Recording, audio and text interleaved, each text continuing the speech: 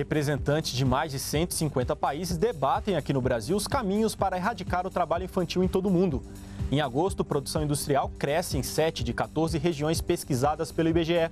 Autorizado o repasse de 10 milhões de reais para ações de socorro e assistência às vítimas das chuvas em Santa Catarina. E foi divulgada hoje pesquisa de satisfação sobre serviços em aeroportos brasileiros. E ainda nesta edição do NBR Notícias. Relatório da Anvisa mostra que o aproveitamento das córneas doadas para transplantes no Brasil melhorou nos últimos quatro anos. Economia criativa movimenta por ano 104 bilhões de reais. O NBR Notícias começa agora.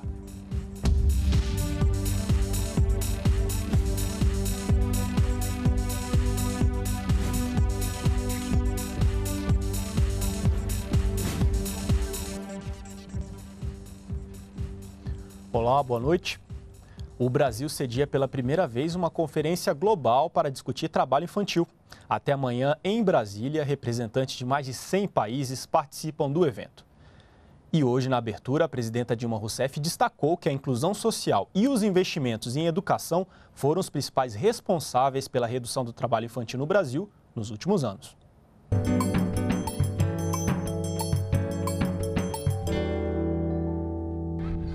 Neste Centro Municipal de Formosa, em Goiás, crianças e adolescentes vítimas da exploração do trabalho infantil. Resgatadas da situação de risco por agentes do PET, o programa de erradicação do trabalho infantil, hoje elas têm o direito de desfrutar da vida como crianças, brincando e fazendo outras atividades do programa, como informática, reforço escolar e música.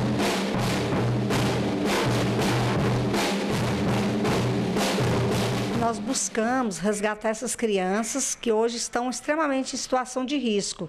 A maioria de famílias muito carentes, crianças com dificuldades de aprendizagem, com pouco rendimento nas, na escola. Então, hoje, os três horas que, que, que, eles passam conosco, eu noto que já houve essa mudança, essa transformação. Para que essas crianças não voltem ao trabalho precoce, os gestores também acompanham as famílias para dar proteção social. E a primeira providência é incluí-las no cadastro único para programas sociais do governo federal. Dona Jesuína, por exemplo, tem seis netos no PET.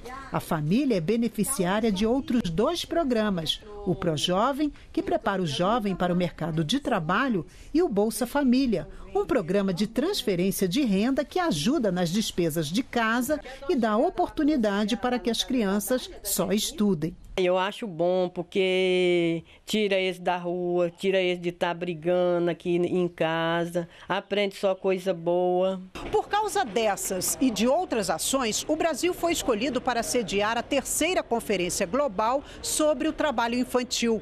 O encontro reúne representantes de mais de 150 países. Durante dois dias, delegações de governos, trabalhadores, empregadores e sociedade civil vão fazer um balanço das boas práticas adotadas e encontrar medidas para acelerar a erradicação do trabalho infantil no mundo.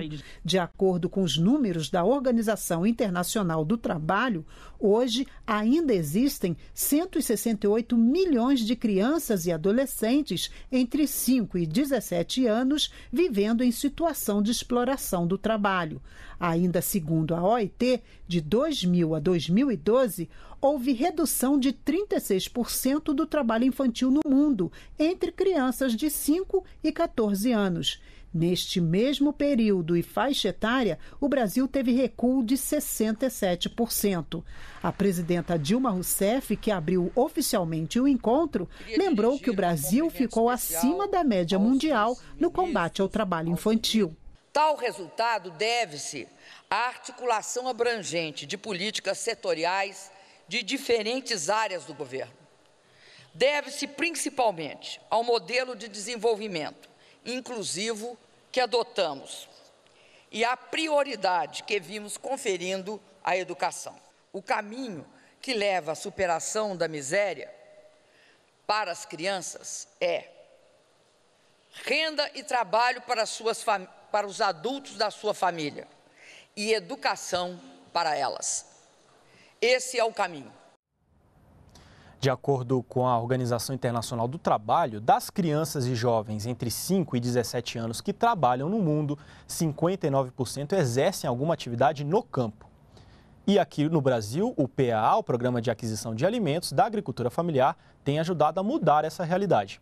Veja agora na reportagem de Priscila Machado. Seu Valdir é agricultor familiar. A propriedade dele fica no núcleo rural Boa Esperança, em Ceilândia, a cerca de 25 quilômetros do centro de Brasília.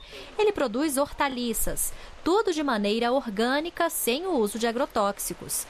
Parte da produção é destinada ao PAA, o Programa de Aquisição de Alimentos. Por ano, o seu Valdir recebe R$ 4.500 do programa. Segundo o seu Valdir, os recursos que ele recebe pelo PAA, o Programa de Aquisição de Alimentos, ajudam na renda da família e são um incentivo para manter as crianças na escola. É uma injeção que dá para o produtor rural, né? Uma injeção boa. Igual esse ano mesmo foi uma coisa muito boa, me ajudou bastante, né? E invita de, de, da gente obrigar os filhos a estudar, a, a deixarem de estudar para trabalhar também, né? E a família é grande, são quatro filhos. O mais velho já terminou o segundo grau. Os três mais novos frequentam a escola.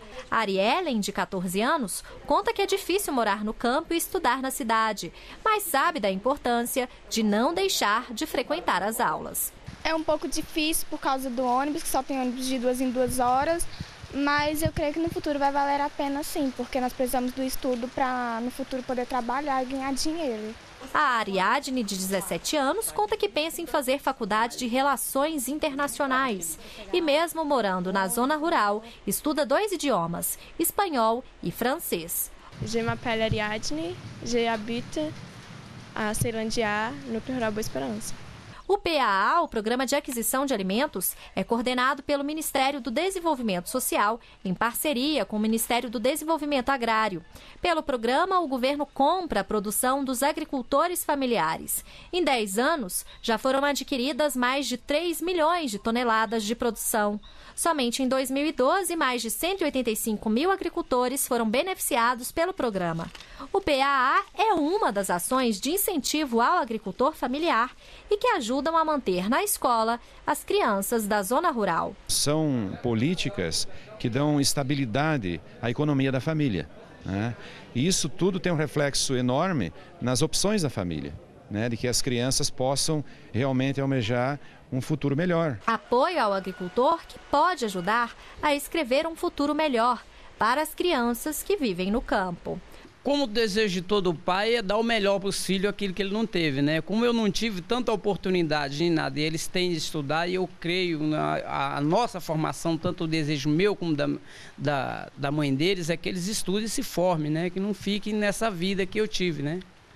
Eles aproveitem a oportunidade que eles tenham. Quero estudar para ser alguém na vida, né? A presidenta Dilma Rousseff recebeu hoje empresárias para discutir temas relacionados ao desenvolvimento do país.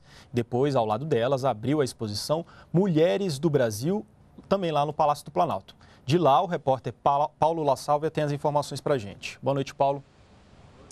Boa noite, Aldilei. A presidenta Dilma Rousseff fez a abertura da exposição Mulheres do Brasil, da artista plástica baiana Eliana Kertes, agora há pouco aqui no Palácio do Planalto. São 62 obras em bronze e fibra de vidro que vão ficar expostas ao público em geral até o próximo dia 9 de novembro. A crítica artística considera Eliana Kertes uma das mais importantes escultoras do país. Em 2004, por exemplo, Eliana Kertes recebeu o prêmio de terceiro lugar na quinta Bienal de Roma, na categoria Esculturas. Por isso, a presidenta Dilma Rousseff, no discurso de abertura da exposição aqui no Palácio do Planalto, afirmou que a obra de Eliana Kertes é reconhecida internacionalmente e que as curvas representadas nas mulheres, nas peças da Eliana Kertes, representam a alma da mulher brasileira. O padrão de beleza que ela mostra é um padrão de beleza que nos envolve e nos cativa. E por isso eu disse que são gordinhas sexys. Elas apresentam, elas têm um, um elas são lânguidas, são lânguidas, mas elas também têm uma imensa alegria, uma imensa felicidade. E representam muito bem também o nosso a, nós sermos uma cultura tropical. Elas têm uma alegria que sai de dentro. A presidenta Dilma Rousseff também comentou a reunião que teve de duas horas e meia com 52 empresárias dos mais diferentes segmentos da economia brasileira antes da abertura da exposição Mulheres do Brasil aqui no Palácio do Planalto e afirmou que é um grande orgulho ver que estas mulheres ocupam cargos de direção à frente dos negócios que representam. A empresária Luísa Trajano, que organizou o encontro e depois conversou com a imprensa aqui no Palácio Planalto, afirmou que foi discutido uma forma de ampliar o tempo de vida útil das micro e pequenas empresas brasileiras, que em média fecham as portas com menos de três anos de atividades. Ficou nesta reunião reunião com a presidenta Dilma Rousseff que vão ser criados comitês empresariais, empresariais para estudar formas de ampliar o tempo de vida útil das micro e pequenas empresas no país. Audilei. Obrigado, Paulo, pelas informações ao vivo. E já está disponível a consulta ao quinto lote de restituições do Imposto de Renda 2013. O crédito bancário para quase um milhão e meio de contribuintes será realizado no dia 15 deste mês. Para mais informações, é só acessar a página da Receita Federal na internet. A presidenta Dilma Rousseff se reuniu nesta segunda-feira com líderes da bancada governista no Senado Federal e na Câmara dos Deputados. A ministra da Secretaria de Relações Institucionais da Presidência da República, Ideli Salvati, informou que a presidenta definiu os projetos prioritários para serem votados este mês no Congresso Nacional todo este conjunto, né, orçamento impositivo, os 15% da receita corrente líquida, uh, o programa Mais Médicos e os médicos militares, ou seja, esse conjunto de matérias possa estar aprovado agora no mês de outubro. Seria algo assim extremamente positivo para o Congresso, para o país, né, para uh, todos aqueles que precisam da saúde.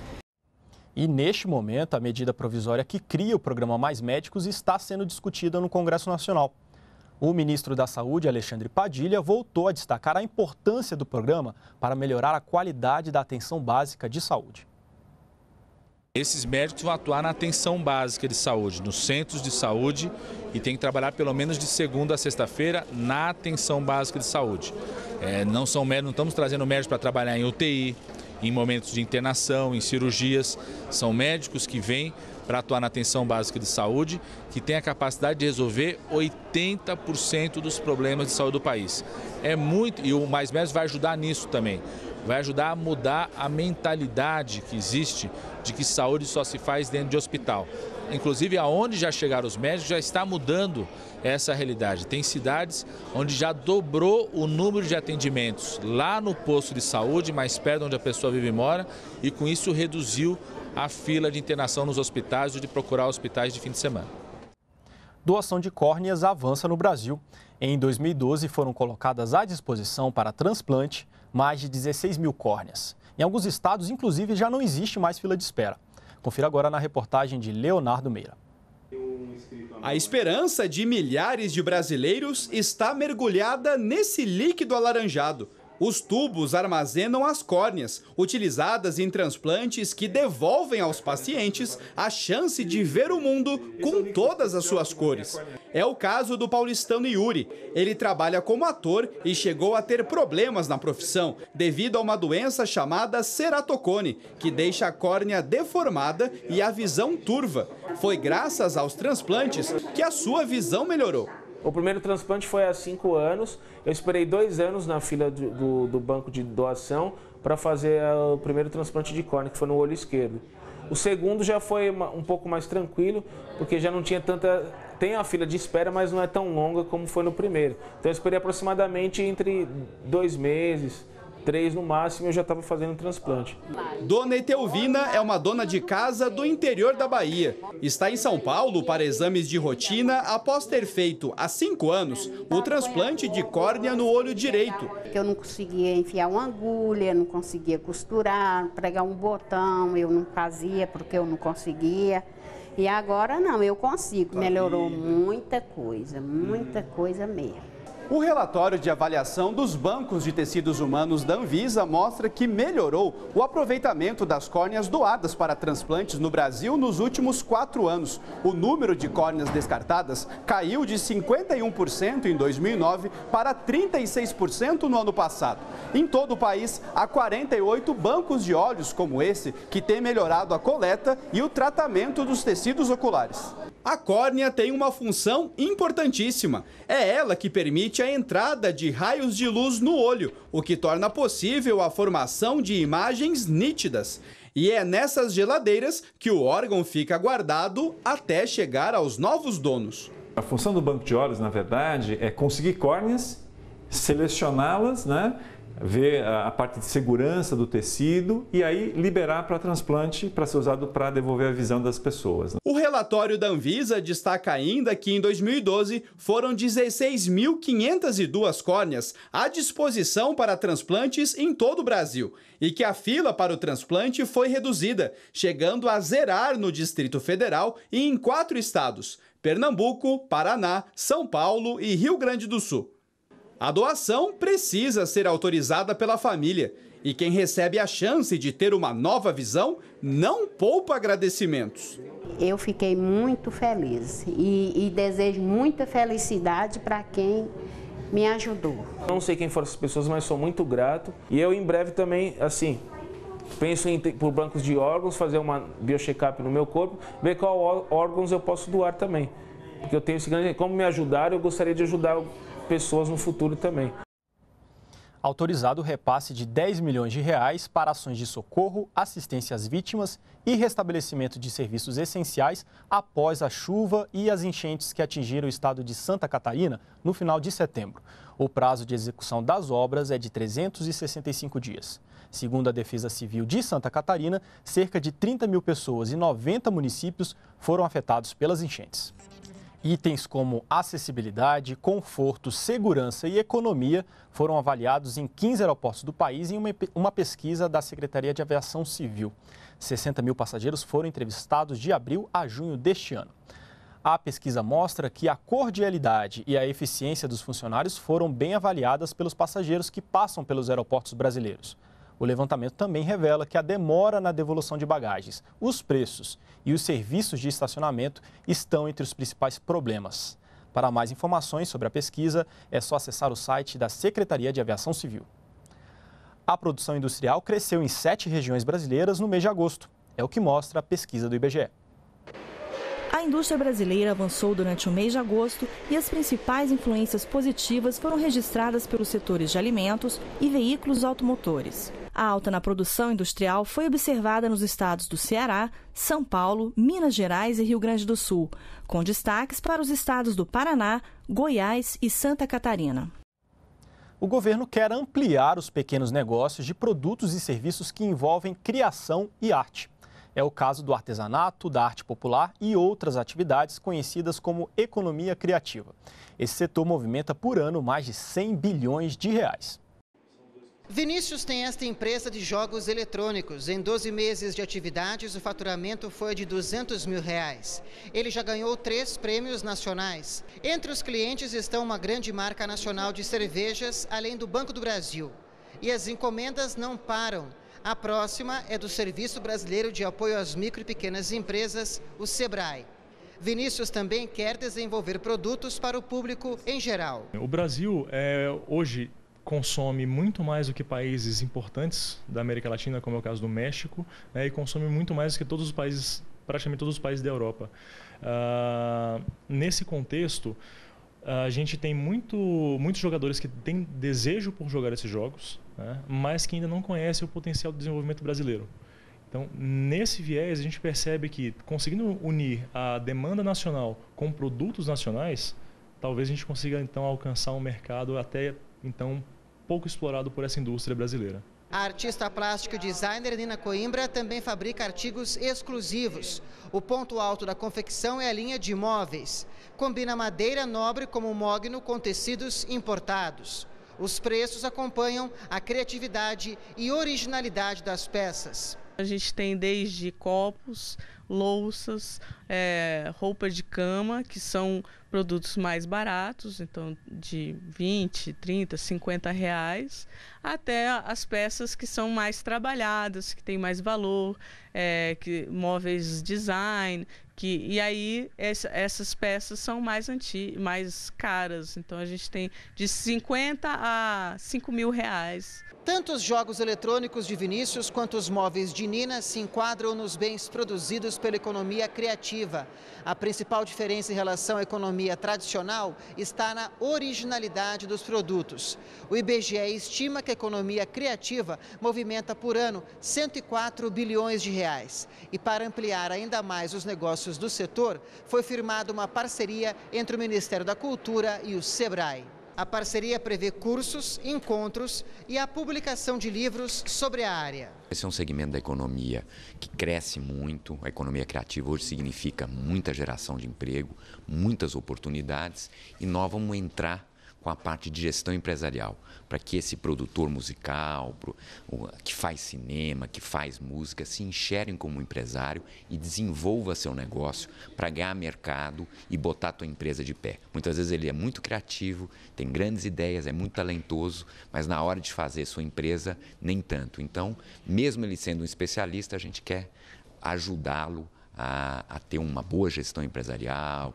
a ter um bom, um bom controle financeiro e acessar novos mercados. Tem muita gente hoje nesse tipo de experiência e no Brasil é um país com alta informalidade, mas é um país que as pessoas querem, é, querem se formalizar, elas querem ganhar dinheiro, elas querem poder viver do que elas produzem e nós sabemos que isso vai fazer muito bem a toda a economia criativa, que é algo mais ou menos novo no Brasil. Por isso que eu disse que a gente ainda está meio tateando, mas uh, quando a gente vai com o Sebrae, a gente não tateia, a gente faz. Esta edição do NBR Notícias fica por aqui. Para você, uma boa noite. Até amanhã. Continue com a gente aqui na NBR, a TV do Governo Federal.